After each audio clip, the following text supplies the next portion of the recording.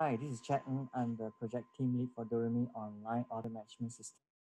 Here on the screen, we have the high-level uh, representation of the process flow of the solution.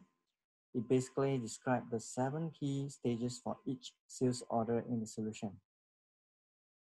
So we have one, uh, which is draft, and two is confirm, three is approved, four is cancel, five is packing, six is ship, and finally, uh, the last status is close. So you can see from this diagram, uh, each sales order will flow through the various uh, statuses and the system is built in such a way where a rules engine will make decision during key, uh, key stage of the solution. For instance, the during approval, the rules engine will make decision to apply discounts and also uh, to also check the inventory stock balance, whether an order can be fulfilled or not. With that, I'd like to move on to my next team member to describe uh, further details on the solution. Thank you. I've identified the top goal for this project is how to implement an online processing management system with sales transaction and inventory control. Here is the inference diagram we have constructed. There are goals at top level inference, which are order processing management, account, business intelligence module, and the inventory management.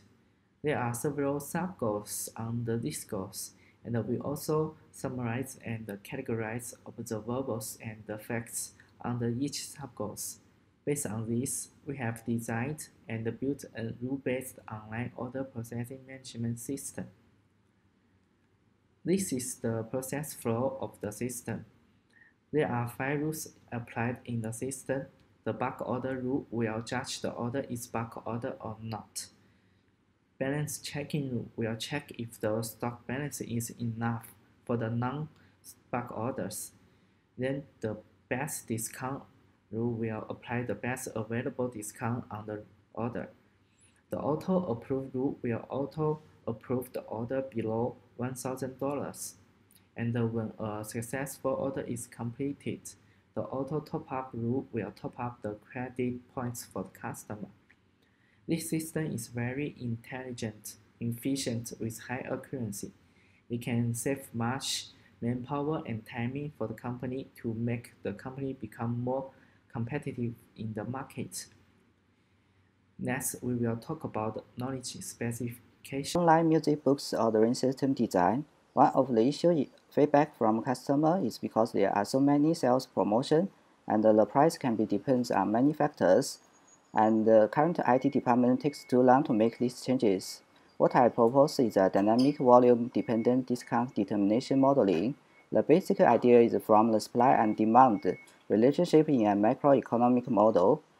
Uh, as shown in this plot, at certain demand level and supply level, the price and the sales quantity can reach an equilibrium uh, to maximize the profit. Uh, during the holiday season, normally the demand level is increased, and if we can increase the supply level, normally the quantity can be significantly increased at a slightly lower price. This can maximize the profit. Uh, this formula shows the relationship between the discount and the total dollar amount. Uh, during the holiday season, such as the school opening period, the N value can be set at a slightly higher value uh, for high strength of the promotion to match up with the higher demand. Uh, normally, the discount is in the form of the credit points. All these parameters can be refined and optimized during the customer feedback cycle. Hi, this is a quick demo of the Doremi booking system. First, we log in. Once we log in, we go to the customer page. We can check whether a customer exists or not by enter the email address. If the customer doesn't exist, we can use the add button to add new customer. Then we go to the sales order. We create a new sales order and save. The sales order has been created and we enter the product details for this sales order.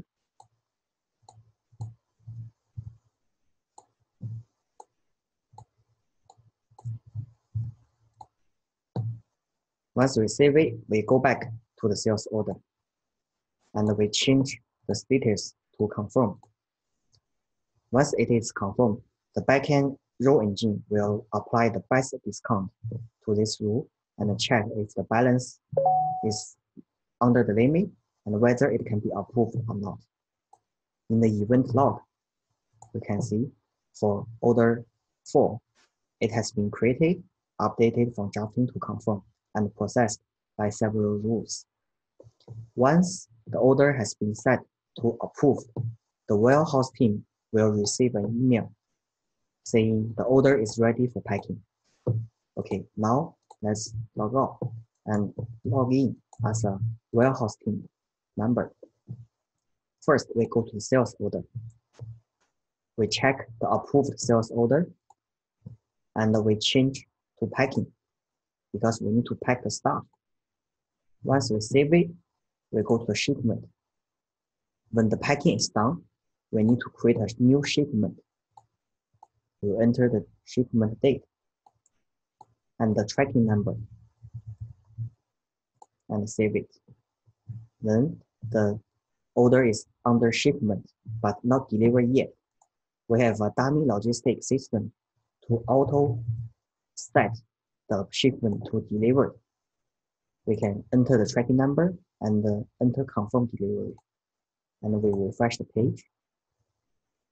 You can see the shipment has been delivered.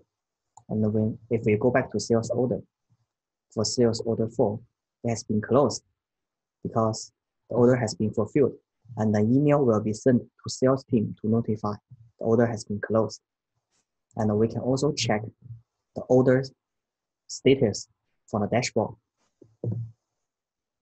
Then next, we have an auto purchase order function. We can run this auto PO.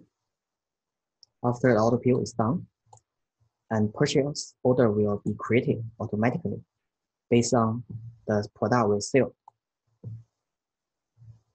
Here is okay.